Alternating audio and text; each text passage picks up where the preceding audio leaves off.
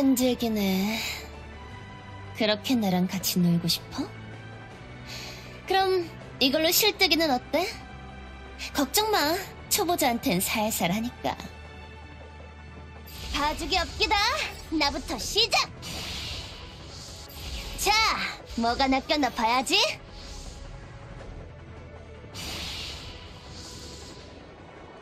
자, 뭐가 낚였나 봐야지. 눈 똑바로 떠야지. 견뎌봐. 흑. 어라? 도망치려고? 걸렸다. 상처 났어? 꿰매줄까? 시작도 안 했는데 뻗은 거야? 흑, 상처 났어? 꿰매줄까?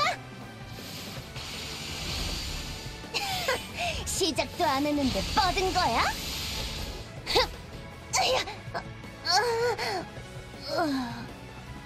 내 성격이 변했다고? 그런 말 들으니 섭섭하네. 난 언제나 얌전히 지내기보단 얌전하게 만드는 쪽이었는데 말이야.